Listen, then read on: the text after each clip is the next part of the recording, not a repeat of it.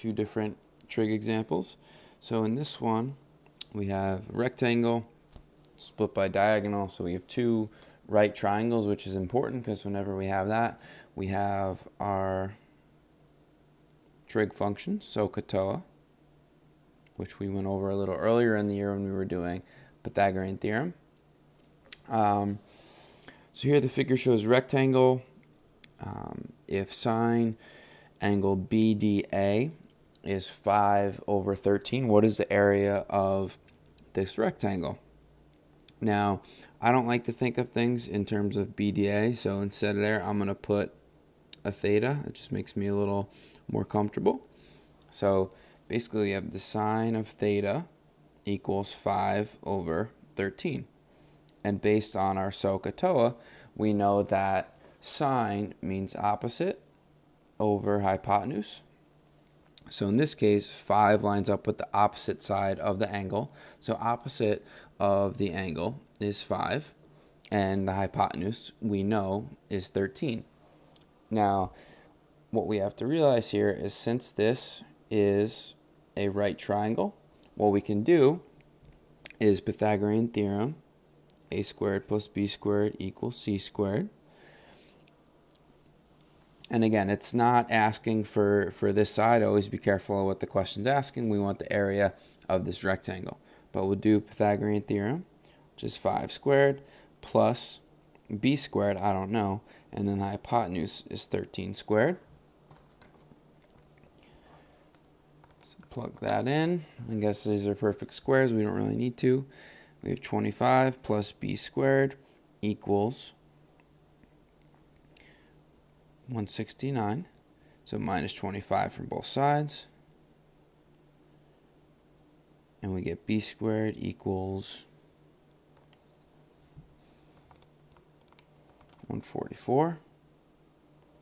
Take the square root of this, and we get b, or the base of the triangle, is equal to 12. Now we want the area of this whole rectangle. The area of a rectangle is base times height, or in this case we have a base of 12 and a height of 5, making the area of this rectangle 60 units squared. So it's going to be choice B. Interesting question. And it says the equation sine of n degrees equals the cosine of 3n degrees. And that's true for some values as long as the value of n is in between 0 and 90. We want to know what the value of n is. Now there are a few different ways to solve this. The first way I might do is to just simply guess and check as long as I you know have access to a calculator and I'm in degree mode. That's very important when we're doing um, these type of functions. So first one I want to do, I can plug in sine 22.5 degrees right into my calculator and I get 0.38 then I can do cosine of 3 times 22.5 degrees plug that in so that's cosine of 67.5 degrees and then the cosine of 67.5 boom it's 0.38 so these two match. So I know that the answer is choice A. So that's a kind of a quick way to do this. But it's also important to understand, you know, the math behind this. So we could look at it um, algebraically. Now, one thing I know just from doing so many trig examples, the sine of 30 degrees is 0.5. This is probably a value we want to have memorized. And likewise, the cosine of 60 degrees is also 0.5. These are values of special right triangles. It's important for us to know.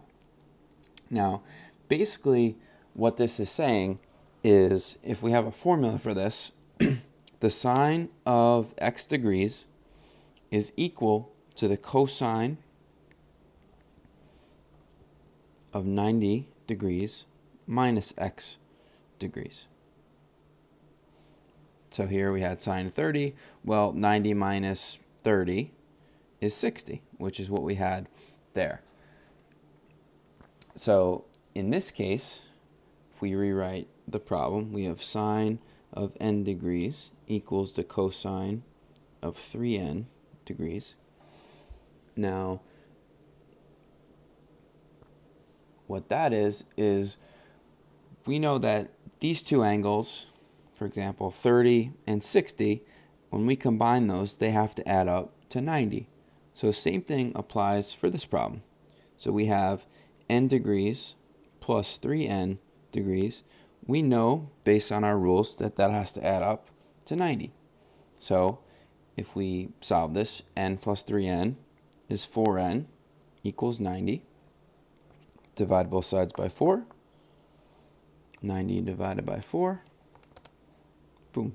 n equals 22.5. So that's two different ways to solve this problem. Okay. In this third example, it's a grid in or a fill in example. And it doesn't give us two information, so this is probably one of the trickier trigonometry examples that you may see. But let's think about it. First, we have a right triangle. A, B, C. B is in the middle. Um, so angle CBA is right, so CBA is the right angle. So we are okay. Now, if the tangent of angle BAC is 0.8, what is the tangent of angle ACB? Now, it doesn't give us and it does tell us it wants us in decimal form, which is important, but it doesn't give us any values of the sides. So again, I don't like when angles are like this. It doesn't, I can't visualize it right away. So I'm going to change it. So BAC, I'm going to make this theta. So angle, the tangent of theta is 0.8. Now, um, again, I should have kept it from earlier, but so, ka, TOA. So the tangent relative to the red angle theta is the opposite over adjacent. So the tangent of theta, again, that's equal to the opposite over, over the adjacent, is equal to 0.8. And here's where our strategy of plugging in numbers uh, is important. I need something to get me 0.8.